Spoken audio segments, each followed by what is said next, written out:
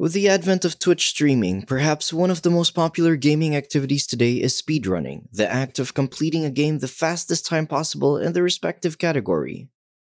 To this end, players utilize advanced techniques and, in the case for the highly popular Any Percent category, various glitches and exploits to compete for the fastest time. Such glitches may involve going out of bounds, exploiting save mechanics, wrong warping, and even writing custom code within the game itself. Unearthing these exploits often require immense effort from a dedicated community, and speedruns represent the culmination of this effort. While certain games like Super Mario 64 and Celeste have gained widespread attention and fame, there are also hidden gems that deserve recognition. That's why in this video, we'll take a look at 5 of some of the most underrated speedruns that slipped under the radar. To keep the video concise, I won't be explaining all the glitches and exploits shown in this video. There are plenty of full speedruns, showcases, and explanations found throughout YouTube, so definitely check those out too. Number 5 Dog's Life. If you're a fan of quirky and unique meme games, you're in for a treat, pun intended. Dog's Life is a kid friendly adventure that was released in 2003 and gained some popularity after it was featured in Awesome Games Done Quick in 2018. Players take control of a Jack Russell Terrier named Jake. Jake's mission? To save his fellow canine friends from the clutches of an evil cat lady named Peaches, who has a twisted love for mashing up dogs into canned cat food. Don't worry though, Dog's Life 3 Plus rating ensures that it's safe for your kids. But don't assume Jake is an ordinary dog. Jake is a very good boy with some serious tricks up his furry sleeve, including boost jumping, sequence breaking, and clipping out of bounds. As such, bones, which are basically this game's equivalent of stars from Mario 64, aren't necessary to complete the game on any percent. Even outside of speedrunning, the game offers great movement and puzzle elements, making it surprisingly fun. And if you're a fan of weird and messed up storylines like me, Dog's Life won't disappoint. It's definitely one of the craziest ones out there. Overall, Dog's Life offers plenty of opportunities for optimization, the current any percent world record, held by Deathmoans, stands at an impressive 12 minutes and 37 seconds. So if you're up for a hilarious adventure, Dog's Life is definitely worth checking out. Number 4. Kena Bridge of Spirits Kena Bridge of Spirits is a charming indie game visually and narratively inspired by Disney and Pixar, and mechanically inspired by Dark Souls. The game follows the story of a young spirit guide named Kena, as she embarks on a journey to uncover the mysteries of an abandoned village and help restless spirits move on to the afterlife. From dense forests to ancient ruins and ethereal realms, Kena encounters benevolent and malevolent spirits while uncovering a dark force haunting the land. Adorable friendly spirits, unfittingly known as the Rot, also assist Kena in battle, overwhelming foes by swarming and temporarily immobilizing them. Furthermore, Kena herself boasts various abilities, adding a lot of depth into the game's combat mechanics. Personally, I had the opportunity to play Kena Bridge of Spirits, and I really enjoyed it. If you'd like to know more, you should check out our review.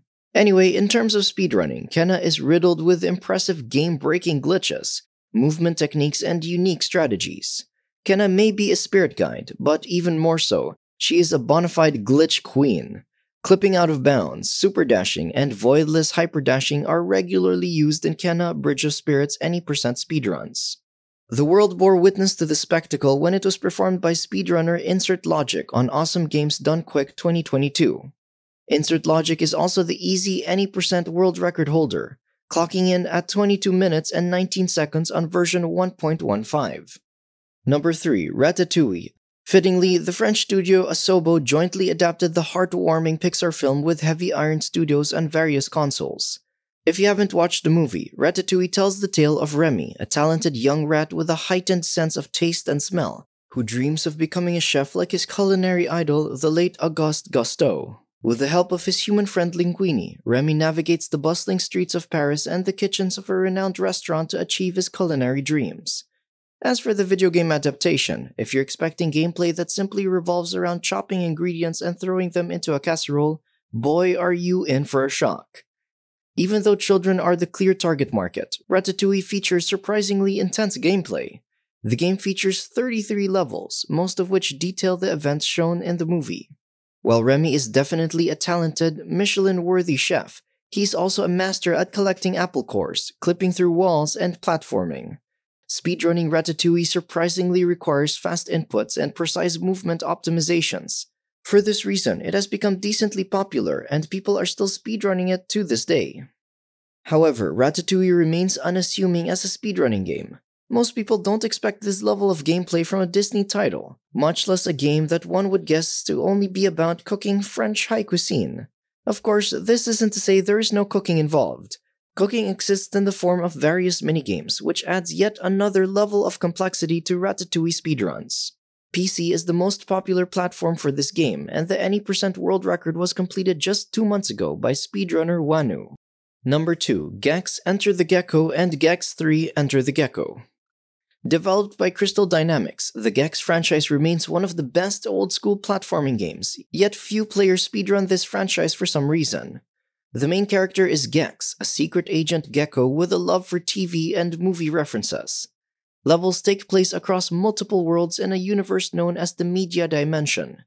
Gex travels to multiple worlds to thwart his arch nemesis Rez's plans to take over the media universe and ensure the longevity of bad TV shows and Z grade movies. Rez also leads an army of various TV characters from different TV worlds, earning him his nickname Lord of the Media Dimension. The most recent titles, Gex, Enter the Gecko, and Gex 3, Enter the Gecko, received critical acclaim for their great gameplay and level design. While Rez may command an imposing army, Gex is no mere pushover. In every sense of the word, Gex is armed with a sharp tongue.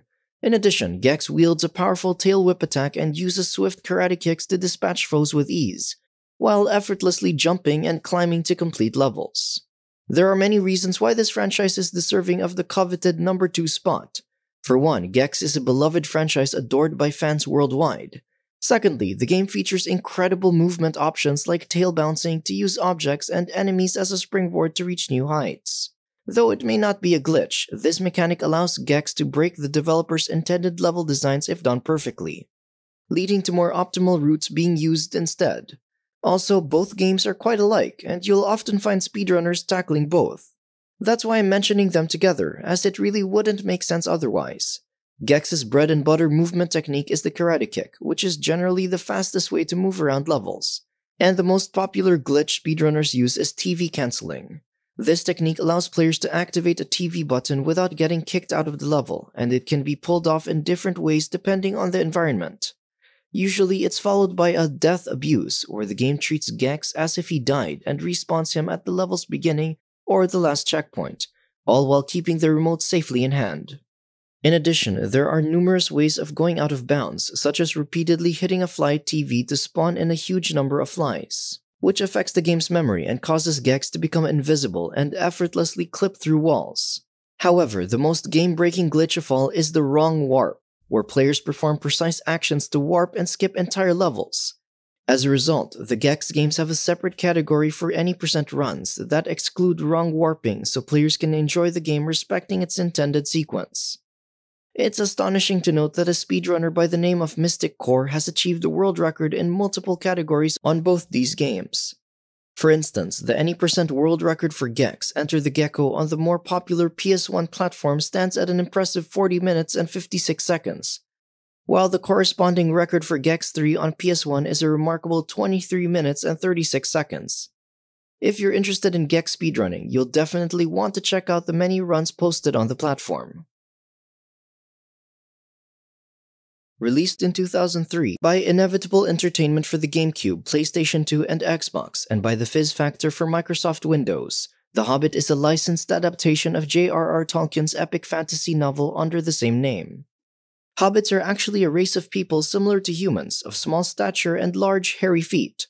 The titular hobbit in question is Bilbo Baggins, who starts off living in his cozy home in the Shire, a peaceful region in Middle Earth. However, his life takes a surprising turn when the wizard Gandalf extends a fateful invitation to join a group of dwarves led by Thorin Oakenshield on a perilous quest to reclaim their lost treasure from the fearsome dragon, Smaug. In case you're wondering, the video game adaptation has no relationship with Peter Jackson's Lord of the Rings trilogy.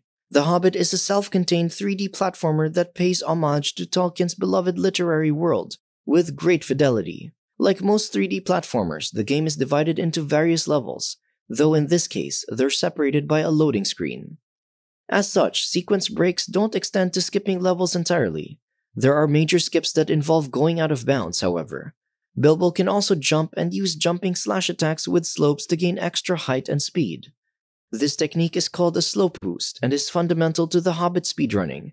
Perhaps the most game-breaking of all are the menu glitches. By pressing R and A on the same frame when selecting Exit Game, an invisible glitched copy of the game's start menu will be made. This copy of the menu has a very special property. It could store the end level event if you ended a level with the glitch active. For example, by making a save at the end of an unexpected party, the first chapter of the game, then continue to the next level and make a new save, then load back into an unexpected party, cause the menu glitch again, then end the level, the menu glitch will now be stored. The glitch can be utilized to bypass subsequent levels, simply by finding a text box pop up that initiates the stored end level event. This game breaking glitch led to optimizing the game down to menu glitches, which made the community establish a distinct category for speedrunning without menu glitches, dubbed any percent no major glitches. Speedrunner Shockster made history when he beat M. Karma's world record, completing the game in an impressive 26 minutes and 30 seconds. If you're interested in the Hobbit speedrunning, I highly recommend watching M. Karma's documentary chronicling its fascinating history that led me to making this video in the first place. These are just 5 of some of the most underrated games to speedrun in my view. Please remember to show support to the community members keeping these hidden gems alive. What do you guys think? I know I may have left out some games deserving of this list. If there are speedrunning games you'd like to be covered in the future, be sure to leave a comment down below. This is Arihead, signing out.